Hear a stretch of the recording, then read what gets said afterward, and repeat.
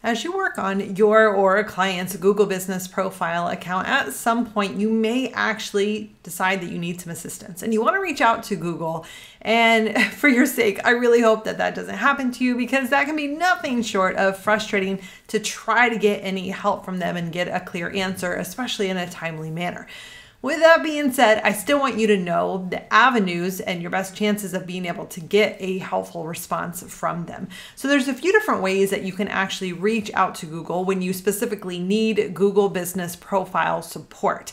And we're going to start with the one that makes the most sense and kind of go down from there. So the very first place that you want to go if you need any help is the Google Business Profile support form. And this is how you're going to be able to reach out to them directly directly through email. So you're going to go to the very first step and you're going to start by selecting the business that you need help with and then you can actually put in what it is that you need support with. So let's say you know you can't change business hours.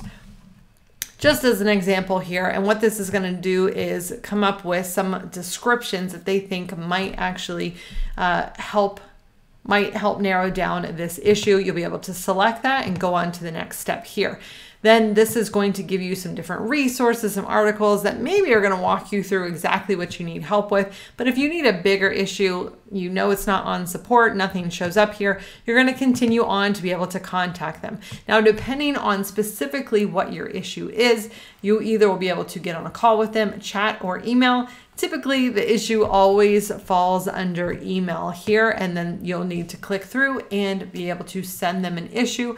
My best recommendation is to be as specific as you possibly can in demonstrating the issue and why that's a problem for you, why that is a problem, even potentially for the consumers, the searchers who are, are looking for this information and when they come across any issue here. Now, that is the first place that I would recommend that you go for support here. Now, if you receive an email back and it is just generic, make sure that you follow up with any email that they are sending you and continue to to follow up with information even if you have to repeat yourself a second time do that so that you get a response. Now let's say that you have done this and you have been waiting and waiting you're not getting a response or you're getting a response you're following up um, doing what we've talked about here and you're not getting a response that's getting you anywhere and you really need to escalate it at that point. Now at that point you want to explore the second option, which is reaching out to them on social media. So, the two places that you can do that are the Google Business Profile Facebook page, which you can do here. And what you'll want to do is just find one of their posts and you can respond on that post and try to get some support there. So if you look in the comments, you'll see that they do actually start to respond here and they will see if you have reached out any other place as well. You can also send them a direct message to attempt to get support in that way. Now, they also have an account on Twitter, and you can do the same thing there, uh, attempting to contact them on a post and seeing if you can get a response. So that would be your second option. Your next option up is going to be the Google Business Profile Help Community. And this is really more of a forum so it's not so much meant for uh, support in the same way, and you're actually not going to get a direct response from Google here. Now, the people who are managing this are the Google product experts. Now, these experts can help resolve your issue, and if you're issue is actually seen as a bigger need. Uh, these product experts decide that Google is the one that needs to directly address this issue that you're having. They are the ones that are able to escalate that issue to Google.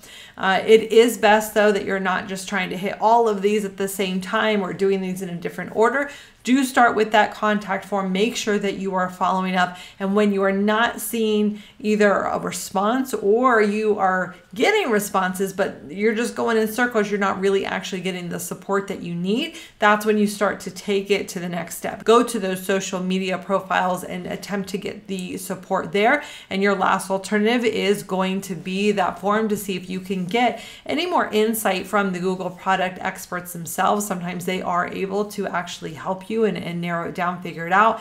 But if they cannot help you, they can determine that you do have a big enough need to be able to escalate that issue directly to Google so that hopefully that will then get you the response that you are looking for. So if you need this support, I wish you the best of luck. This is the best course of action that you're going to have in getting Google's support.